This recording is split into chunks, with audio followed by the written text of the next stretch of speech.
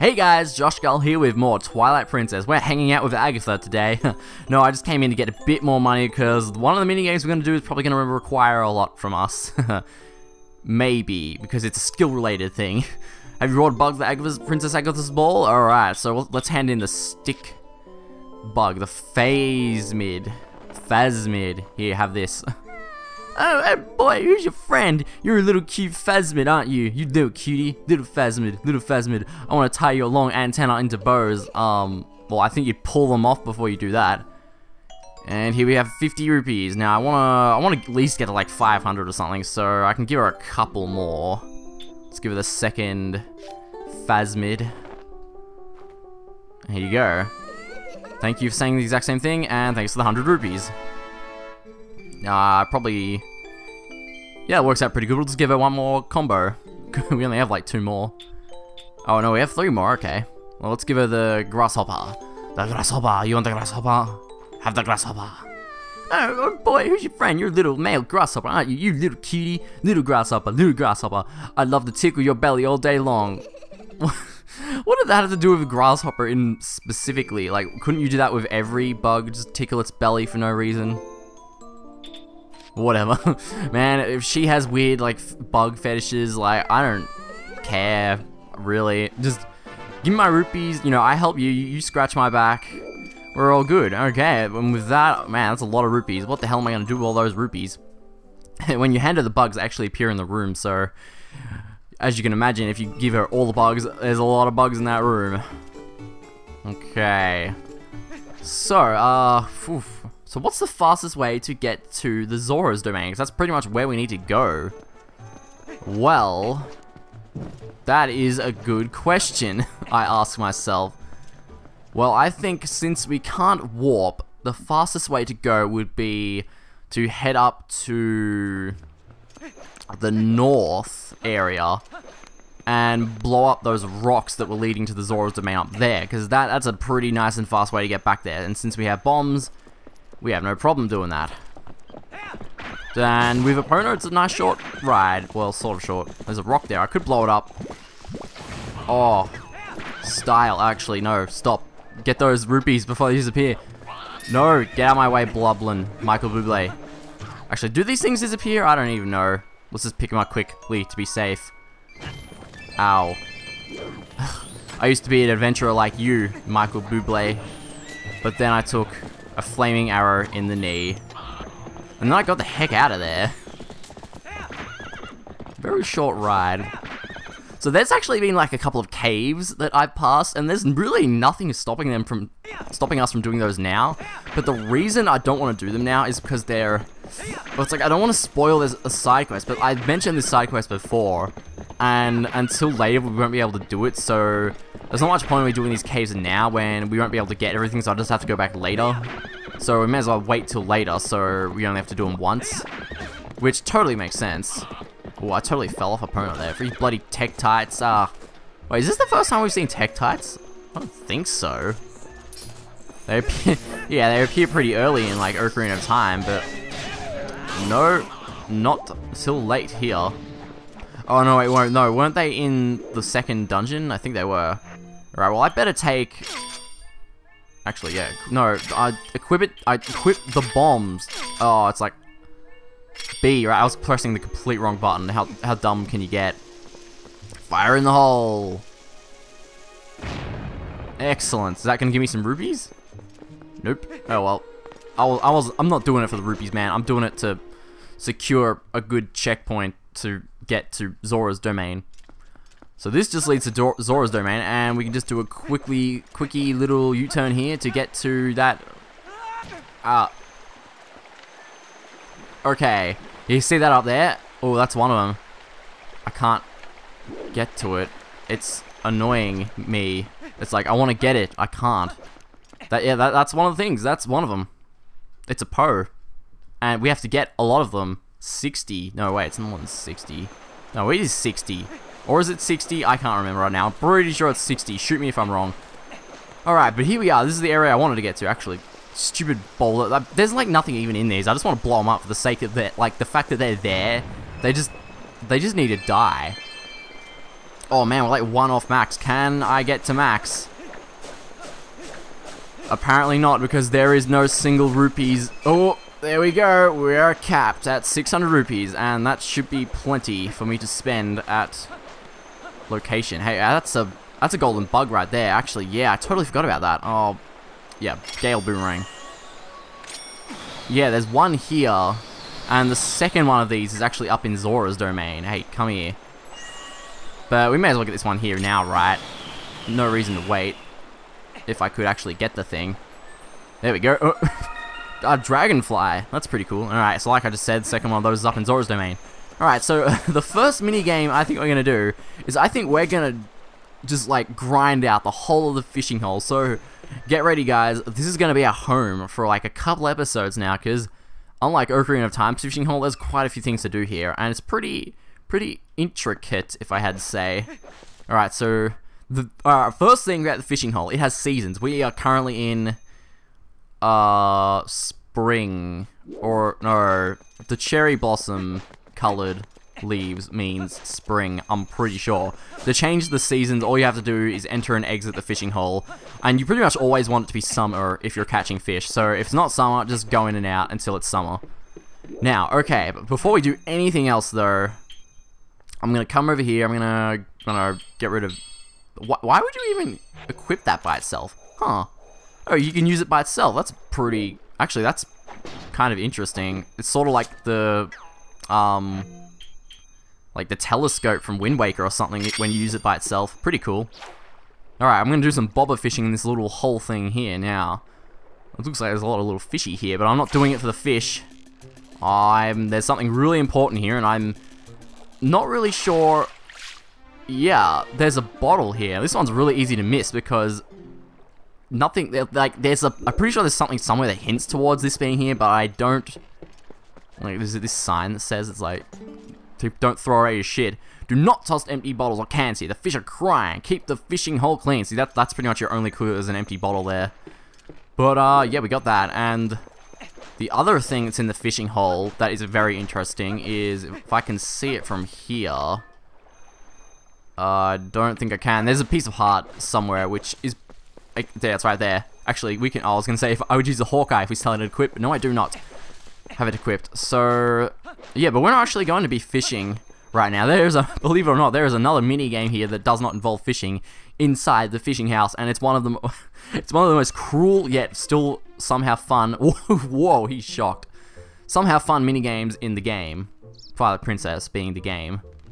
That's a pretty disappointing tank there. Hi there! Hey, you! You've never been here before, have you? Well, I'm the owner of this fishing hole. My name's Hena. Nice to meet ya. Well, I don't have to talk to her. But you can look at things here and she'll tell you about them. That's a special fish tank just for my customers. I'm fond of those green grill... grill grills. yep, green grills, alright, of course. But if you catch anything, I'll toss it in too. Of course, I don't want to encourage overfishing, so I only keep the biggest of each fish type that gets brought in. Alright, so tell me about this fabulous picture.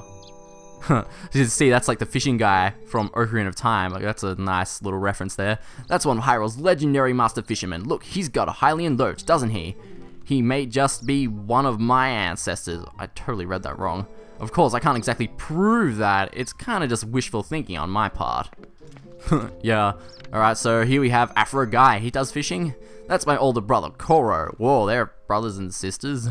And a 25-inch Ordon catfish he caught. He's the only one in our family who, who's lousy at fishing. He only managed to catch that by using a sinking lure. Cheater. Ooh, yeah, so like sinking lure is like taboo here. If you use one of those, you're like the devil. That's me, my first fish I caught here. A 28-inch Hylian pike. Well, that's pretty big. I swear, I'll never forget that day. Such sweet memories. Alright, and here we have Afro Chick. That's my oldest sister. That shot is from the day she caught herself a 17-inch Hyrule bass. Not that interesting. Her name's Iza, by the way. Make sure you drop by her boat rental shop sometime, okay? Yeah, I certainly will, because we can get some cool stuff from there, too. And here is her. That's the 22-inch Hyrule bass I caught, bit bigger than hers. It's not very big, but it's a fish I spotted and caught all by myself, so I took that picture. Alright, maybe we can get on this wall someday. so what's a... That's a... this is great. Come on, look at that. Look at her hat. That's mine. You know, it's generally considered polite to take your hat off when you come indoors. Oh, no, I'm never taking my crazy... This is, is this even a hat? It's like, I wouldn't even classify this as a hat. It's like an pointy magical thing, and you like look at her pots.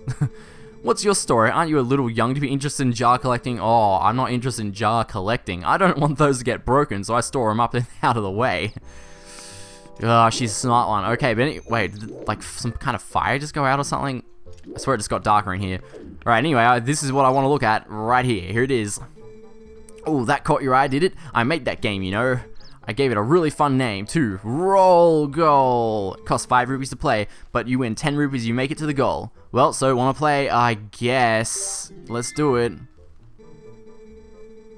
The rules are simple. Tilt Wii Remote to roll the glass ball along the path all the way to the goal within the time limit without dropping the ball. You can change the angle of the camera with a nunchuck stick, so use that well. Ready? Press A to start. Okay, uh... Yeah, so the Wii version of this game makes you use the Wii, you know, tilting using the Wiimote's accelerometer, which is like really unreliable. Uh, cause it's just this mini game though. Like the the thing itself actually works pretty good because they like program this so lazy though. It's really bad. But I'm sure I made that look like super easy. Roll goal, congrats, here's your prize of 10 rupees. Too bad I can only take none of it.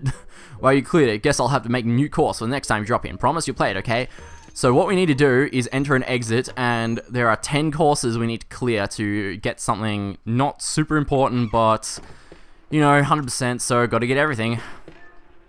Alright, round two of roll goal. The best part of roll goal is entering and exiting the house. No, no, alright. So let's see if I can keep my winning streak up. Level 1, 2. Alright, here we are. Pretty simple. Yeah, so the only reason this controls terribly, really, is because it's just, a, they like, it's such a simple port of the GameCube version that they didn't, like, program it accurately with the Wiimote's controls. So if this, if Twilight Princess was made like late in the Wii's life and was made to be a Wii game, this would work like much better.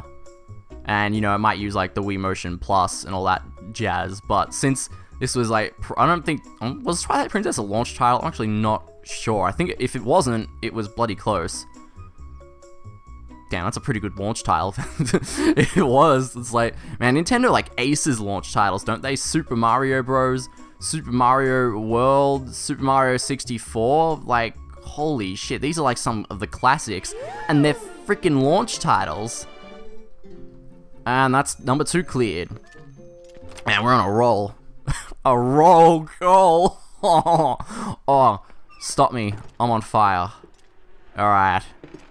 Let's go back in for round three. I'm not sure if we're going to be able to fit this all in one episode, especially if I have like heaps of fail failures, because trust me, I'm going, to, I'm going to. It's pretty easy now, but once they start adding the hills, oh boy, it gets hard. Alright, Wii remote tilting action. Duh, duh, duh, duh. So, I'm not, I've not really explained the Wiimote's crappy, you know, I've, I've gone on about how crappy it, it is, but I haven't really explained how crappy it is pretty much. You can only... I haven't really found you can tilt diagonally, like, at all, pretty much. So you can pretty much only tilt in up, down, left, or right. I'm pretty sure you can tilt diagonally, but it's so unreliable, it's like, don't even bother. It's not like there are diagonal, you know, directions to go anyway, so it doesn't really matter. But, uh, it's pretty sensitive. Like, you, it's pretty much just a go-stop kind of thing. There isn't, like, so, like, I'll start tilting it as slow as I possibly can to go up really slowly, so I'm tilting it still. It's not, nothing's happening until, yeah. So there's like a dead zone, if that makes any sense. So you have to kind of tilt it a bit before it'll even do like anything at all, which is kind of annoying because when you're trying to be really delicate, that doesn't help. Sort of like aiming in Wind Waker, if you ask me. Oh, Wind Waker HD, I mean, not the GameCube version, because I'm sure the GameCube version of Wind Waker controls fine, because it has a GameCube controller, which has no dead spots, but the Wii I've actually kind of found the Wii Pro controller has a bit of dead spots, which kind of makes aiming in, Wind Waker kind of hard, but I mean, if it if you hate it that much, you can always use the gyroscope controls, right? Which are pretty good. I thought they worked pretty good in Ocarina of Time 3D. Alright, 1-4. We're doing good. Okay, so is this the last one without the hills? I think maybe. And we haven't screwed up yet, so like we're like the best. We're like the best. We're so good that nothing can stop us unless it was like a freak accident like like she came up and hit me. that would be that would be most crude of her. And like I already paid the money, so if I screwed up, there'd be no way to get it back. So and it's not like this place has security cameras. Like, can't go to the police and say, hey, I got conned. Because I don't even know if this place would be under Hyrulean jurisdiction. Uh, but nah, Hena's not gonna do that. She's like a good girl. She wouldn't, she wouldn't cheat me out of my money. Because, like, I really care that much about five rupees. Maybe I shouldn't have filled my rupees up too much, because now I'm just, I'm like losing my winnings. Like, I'm losing five rupees every win. Alright, but that was, that was four, right? Uh, I don't think, I think I should probably wrap this up soon, maybe. Ugh. We, we can do a few more rounds, if I, if I don't screw up, that is. But I want to get to the fishing stuff, though, because I actually kind of enjoy fishing in this game. And then we've still got that piece of heart to get. I cannot forget about that. I Trust me, I won't forget, though. I love getting that one. Oh, yeah, here it is, the introduction to hills. 1-5, okay, yeah, see, we've got this red part here. It's a hill. You kind of have to so the problem with hills is if you just like hold it here and tilt the Wiimote as far as possible, it won't move up. You need to like like jack it forward and forth to get it to go up. Like yeah, like that. That that went alright. You see you got these like curvy bits. So I suppose diagonal would be sort of helpful here, but at the end of the day, it's just not worth trying to do diagonals with the Wii version anyway. I really actually like to kind of play the GameCube version of this game. Not just because of this, just because this is like one of my favorite games. there's a different version of it, I want in. And hey, you know, I mean, they technically are the same games, so if I did have both, that'd be some kind of maybe version differences or something like that. Ooh, I love making those videos, just looking up the differences and like figuring out stuff myself, because there's actually a website I use to make those version differences videos, and it's actually pretty helpful. It's called the Cutting Room Floor. I think I've mentioned it before, though.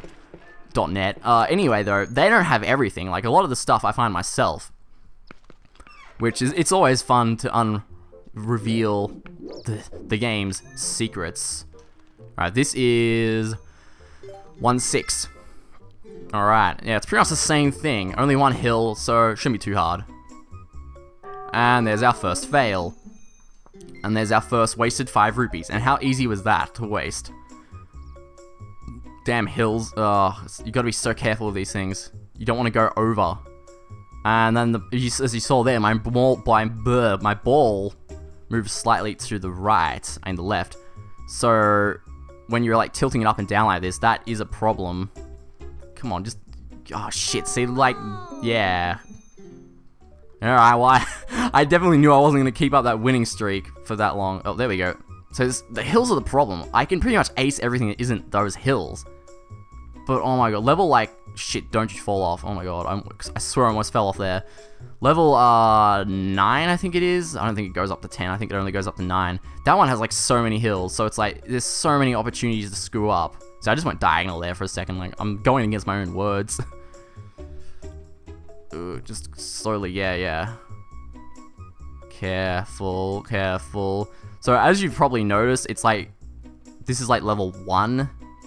6, was this 6? I'm pretty sure this was 6.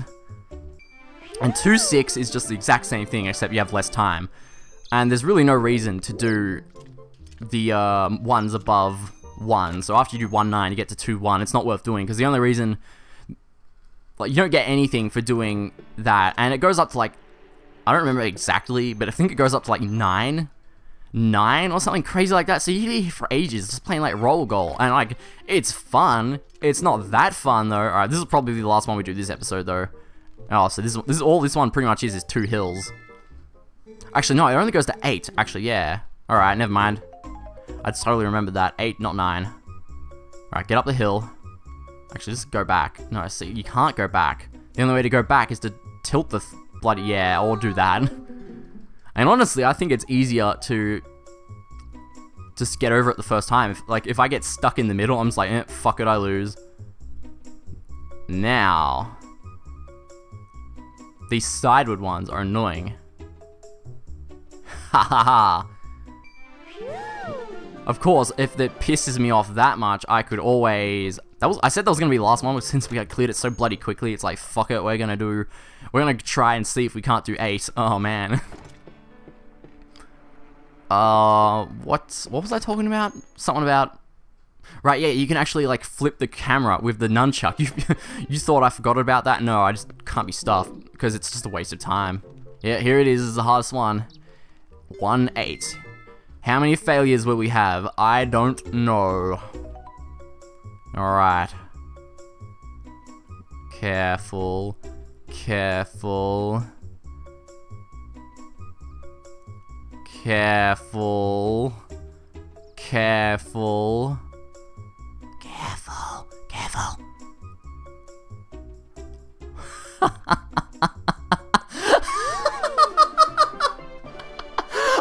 I'm sorry, I'm just laughing because uh, I was chatting with like a friend when he first introduced me to Roll Goal, like fucking Shogun Gino, and I told him I beat 8 in one go and he didn't believe me, and I said, damn, I should have recorded that, and then I said when I actually went to go do the real thing, I wouldn't do it in one go, but there you fucking go, one fucking go, yeah!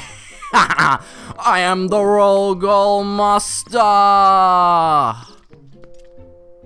Now we've gotten over that celebrating. Wait, shit, I, I totally forgot to actually, well, she actually, I'm pretty sure she said something different there, so if you guys want to pause that and read it, you can. Uh, we just gained access to the frog lure for beating that, which is an important lure because that's the only way to catch the Hylian Loach, which uh, we will be doing because that's a fun.